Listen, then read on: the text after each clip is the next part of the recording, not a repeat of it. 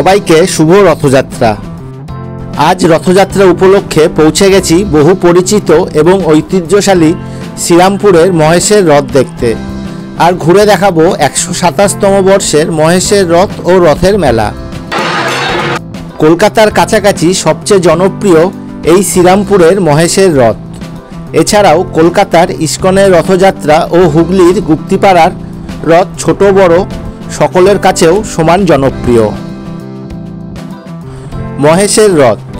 ছোটবেলায় রথের মেলাতে পাঁপড় ভাজা আর রথ দেখার মজা অবশ্যই পুরনো স্মৃতি সকলকে মনে করাবে। আর ছোটদের নতুন রূপে এই মহেশের রথ ও মেলা ঘুরে দেখাকে উপভোগ করতে এই ভিডিও দেখতে থাকুন। আর রথ সম্পর্কে আরও অজানা তথ্য দিচ্ছি এই ভিডিওতে। আর ভালো লাগলে চ্যানেলটা সাবস্ক্রাইব করে বেল নোটিফিকেশান অন করে রাখুন পরবর্তী ভিডিওর আপডেট পাওয়ার জন্য। আর এই ভিডিওতে যারা নতুন, তাদের উদ্দেশ্যে বলছি, এই চ্যানেল ট্র্যাভেল রিলেটেড। আমি আর আমার ওয়াইফ বাইক নিয়ে ঘুরে বেড়াই। রিসেন্ট বারাণসী, প্রয়াগরাজ, লখনৌ ও শ্রীরাম জন্মভূমি, অযোধ্যা ঘুরে এলাম। সেই ভিডিও দেখতে চ্যানেলের প্লেলিস্ট চেক করে নিতে পারেন। বাইক ট্যুরের সব ইনফরমেশান পেয়ে যাবেন সেই সব ভিডিওতে। যাই হোক এই প্রসিদ্ধ মহেশের রথের উচ্চতা পঞ্চাশ ফুট। বারোটা লোহার ও কাঠের চাকা আছে।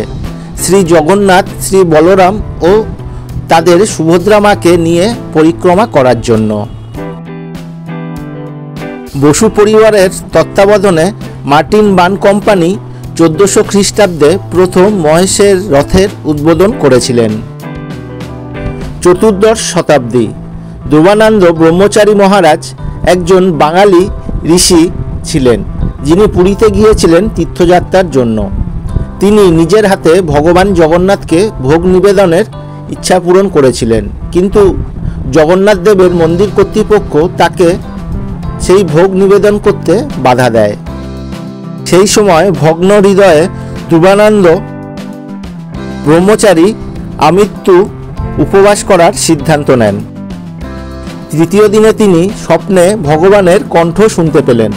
ধ্রুবানন্দ তুমি বাংলায় ফিরে যাও। ভাগীরথীর তীরে মহেশ নামে একটা জায়গা পাবে। সেখানে আমি তোমাকে একটা বিশাল দারুব্রহ্মা পাঠাবো। নিমের কাজ।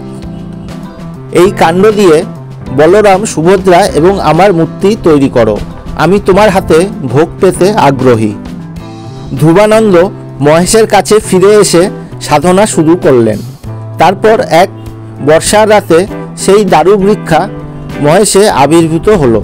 সেই জলে ঝাঁপ দিয়ে তারপর সেই পবিত্র এই নিমের কাণ্ড সংগ্রহ করে তাতে মূর্তি তৈরি করে মন্দিরে প্রতিষ্ঠা করে। এমনকি সন্ন্যাস গ্রহণের পর শ্রী চৈতন্য যখন পুরীতে যাত্রা করেছিলেন, সেই পথে মহেশেও পৌঁছেছিলেন।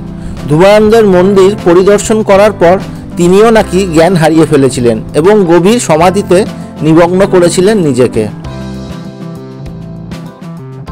ভগবান শ্রীকৃষ্ণ মহেশকে নবনীলাচল অর্থাৎ নতুন পুরী বলেও নামকরণ করে গেছিলেন। পরে বৃদ্ধ ধ্রুবানন্দ শ্রী চৈতন্যকে মন্দিরের দায়িত্ব নিতে অনুরোধ করেন।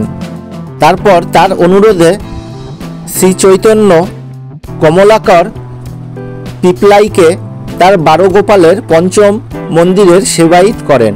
কিছুদিন পরে বৃদ্ধ ধ্রুবানন্দ মারা যান। বর্তমানে এই রথটি কৃষ্ণরাম বসুর পৃষ্ঠপোষকতায় আঠেরোশো পঁচাশি সালে মার্টিন বান কোম্পানি দ্বারা নির্মিত হয়েছিল। উইকিপিডিয়ার দৌলতে নির্মাণ প্রকল্পে ব্যয় হয়েছিল প্রায় দুই মিলিয়ন টাকা। বর্তমানে এই রথটি হল একটি নবরত্ন মন্দির, যার নয়টি শিখর রয়েছে। এই রথে বারোটা চাকা রয়েছে। লোহা আর কাঠ দিয়ে তৈরি এই চাকাগুলো। এক একটা চাকার পরিধি বারো ইঞ্চি। এই রথটা চারতলা, উচ্চতা পঞ্চাশ ফুট এবং ওজন একশো পঁচিশ টন। সামনের দিকে দুটো তামার ঘোড়া লাগানো আছে। তো চলুন দেখতে থাকুন এই মহেশের রথযাত্রা। ভিডিওটা ভালো লাগলে একটা লাইক করুন, কমেন্ট করে জানান আপনার কেমন লাগল। আর ভালো লাগলে চ্যানেলটা সাবস্ক্রাইব করে নোটিফিকেশান অন করে রাখুন পরবর্তী ভিডিওর আপডেট পাওয়ার জন্য।